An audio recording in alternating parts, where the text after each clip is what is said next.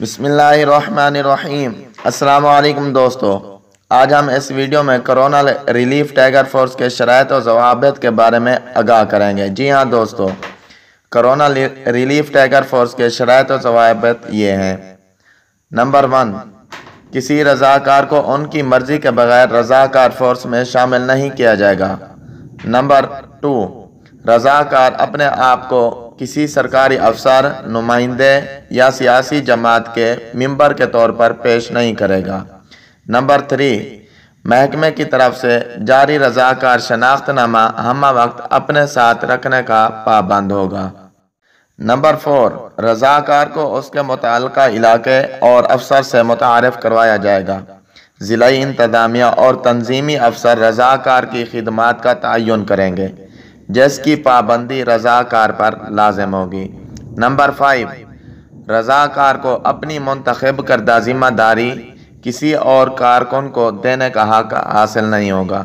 Number six, رضاکار کو کسی بھی غیر قانونی سرگرمی کا حصہ بننے کی اجازت نہیں ہوگی۔ مثال کے طور پر، اختیارات کا ناجائز استعمال یا کسی کو غلط یا جھوٹی معلومات فراہم کرنا وغیرہ۔ نمبر سیون، رضاکار کو اپنے منتخب کردہ علاقے، عوام اور دوسرے کارکنان کے ساتھ خوش اخلاقی احترام اور دوستانہ رویہ اختیار کرنے کا پابند ہونا ہوگا۔ نمبر ایٹ، غیر حاضری، ہنگامی صورتحال یا کوئی مسئلہ درپیش ہونے پر بر وقت انتظامیہ کو آگاہ کرے گا۔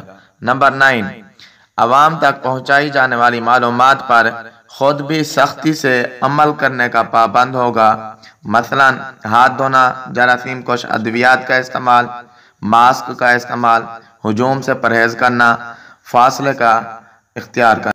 نمبر ٹین بلا ناغا اپنی سرگرمیوں کا اندراج کرنا اور ہر ہفتہ پابندی سے اسے متعلقہ کمیٹی میں جمع کروانا، اس کی ذمہ داریوں میں شامل ہوگا۔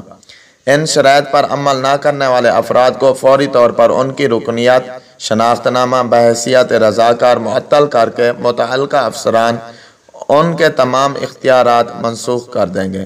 دوستو، اگر ویڈیو اچھی لگی ہو تو لائک اور کمنٹ کرنا نہ بھولے گا۔ اللہ حافظ۔